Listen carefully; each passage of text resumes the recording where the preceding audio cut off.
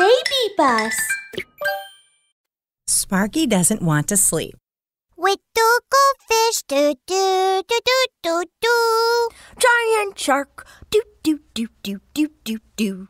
It was bedtime, but Sparky had picked up his little toy goldfish and was running back and forth, while Fireball followed behind carrying a toy shark. Roar!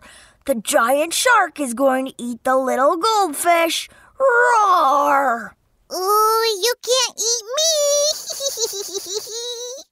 Just then, tap, tap, tap, Mother walked in.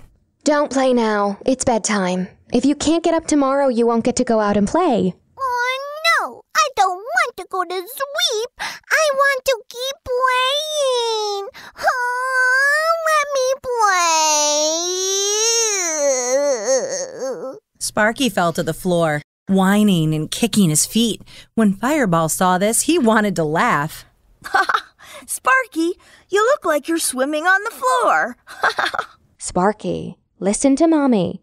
Go to bed now. Uh, no! I want to keep swimming. I'm not tired. I do not want to sleep.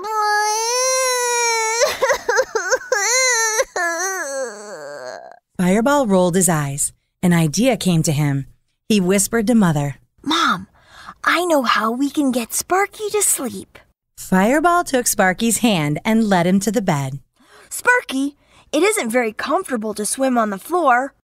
Come on, let's swim on the bed. Uh, no, I want to play Shark Eats Goldfish. You have to practice swimming first. If you swim fast, I won't be able to eat you. uh, okay. But how do I swim onto the bed? Fireball collapsed onto the bed and began kicking his feet and waving his hands wildly. Like this. Kick. Gah. Move your arms. Ooh, ooh. Swim a hundred strokes. Fireball's plan was for Sparky to swim until he wore himself out. When he was tired, he would fall asleep. One, two, three, four.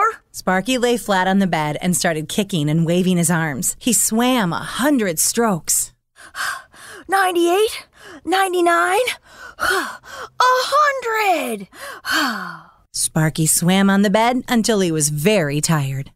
Sparky, you're tired now, aren't you? Let's go to bed now. Oh no, I don't want to go to bed. I want to play Shark Eats Goldfish. Oh no!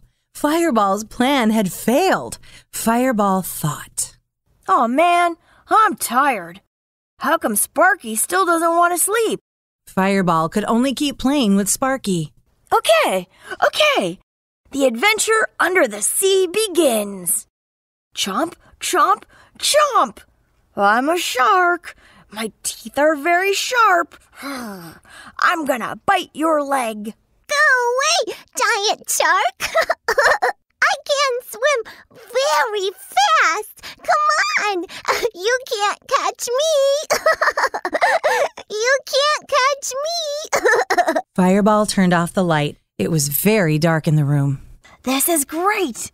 You swam into a dark cave. It's dark in here. You can't see anything.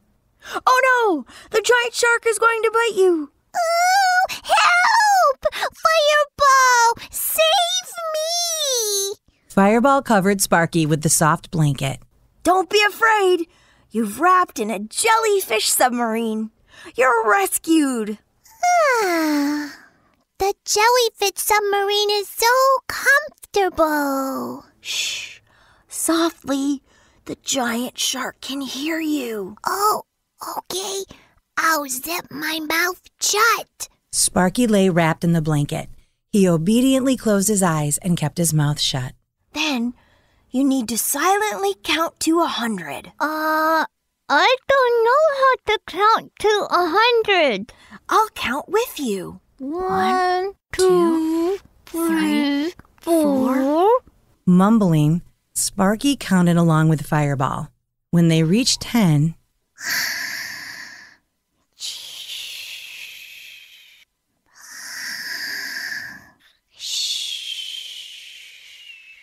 Aha! Sparky fell asleep.